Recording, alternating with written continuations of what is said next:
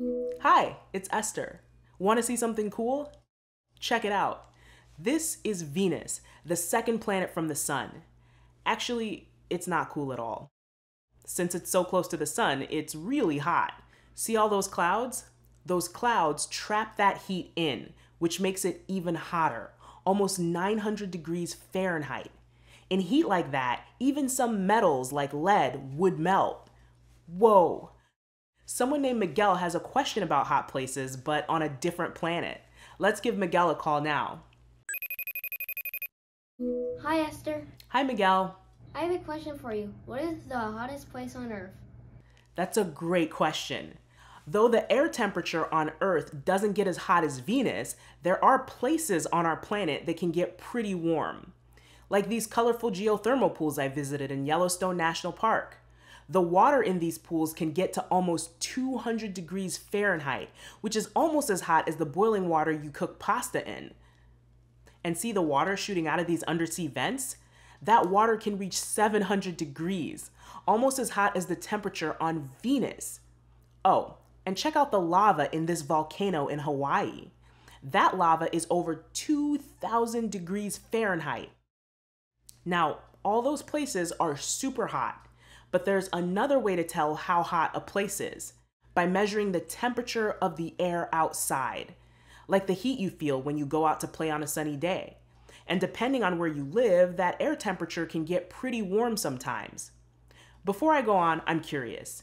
What's the hottest place you've ever been?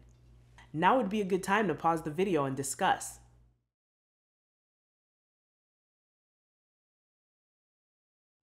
Okay, you ready? I don't know how you answered, but I bet some of you have been to some pretty warm places. I grew up in Chicago, and in the summer, the temperature would rise past 90 degrees sometimes. 90 degrees feels pretty hot. We'd start to sweat when we were outside, even when we weren't exercising. Some people would even hang out in shopping centers or buildings where there was air conditioning just so they could stay cool. Yeah, Chicago can get pretty hot, but there are a lot of places in the world that can get a lot hotter. And that's when things can really start to get uncomfortable. You can burn your feet if you're walking barefoot on the sidewalk. And some things can even start to melt, like crayons, and even candy like gummy bears. We can tell what the temperature is outside at home by using a thermometer like this one. There are also special thermometers in weather stations all over the world. Weather stations have special tools that help scientists measure things like rainfall and air temperature. With stations like these, scientists can measure the temperature of the air in faraway places. Like this one.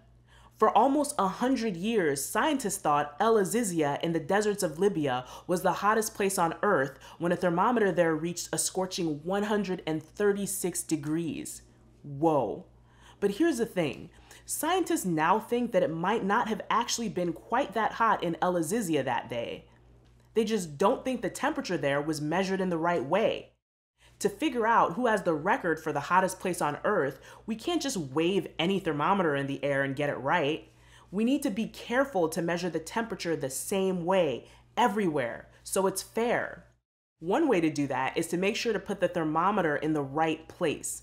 It's kind of like if you and your friend were having a contest to see who lived in the hottest city.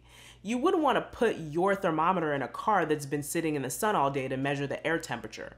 It would be a lot warmer in the car than outside, and that would make your city seem a lot hotter than it really is. That wouldn't be fair to your friend. In the same way, you wouldn't want to put your thermometer under a tree either, because it would be cooler there than places with no shade, and that wouldn't be fair to you. And that's one of the reasons scientists think the record breaking temperature at El Azizia was wrong. The thermometer used to measure the record temperature wasn't put in the right place. It was put on top of concrete that got really hot in the sun, kind of like the inside of a car gets. So, a few years ago, scientists realized that because the temperature wasn't measured correctly, the actual hottest place might be somewhere else. Somewhere called Furnace Creek in Death Valley, California, a place that once reached a temperature of 134 degrees Fahrenheit one of the hottest temperatures ever recorded. Now, it's important to know that the 134 degree temperature in Furnace Creek was also measured a long time ago. And just like the thermometer in El Azizia, some scientists think the Furnace Creek thermometer wasn't in the right place either. Some even think the person measuring the temperature may have measured it wrong. But even after they move the thermometer to a better place, Furnace Creek continues to reach some of the highest temperatures on Earth. About two years ago, the weather station thermometer at Furnace Creek recorded a temperature of 130 degrees. That's so hot. People that were there that day said that it felt like they were standing under a giant hair dryer. Today, Furnace Creek holds the record for the hottest temperature ever measured, but that doesn't mean it's the hottest place on Earth. Here's why. The Earth is huge, so huge that there aren't enough weather stations in the world to measure the temperature everywhere. Some of the hottest places on Earth, like parts of the Sahara and Gobi deserts, are really hard to get to. There are no roads and no places to get water, so scientists haven't set up weather stations there yet. Satellites from space can measure temperature, but they aren't as accurate as actually having thermometers on Earth. So without a thermometer on the ground, we really don't know how hot a place is.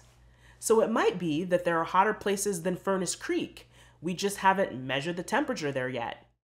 So, in summary, as of 2023, Furnace Creek in Death Valley, California holds the record for the hottest temperature ever recorded at 130 degrees.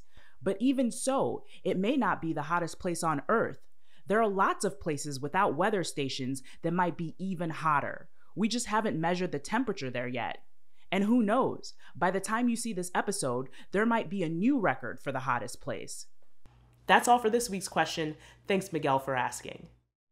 Now, for the next episode, we reached into our question jar and picked out three questions sent in to us that we're thinking about answering next.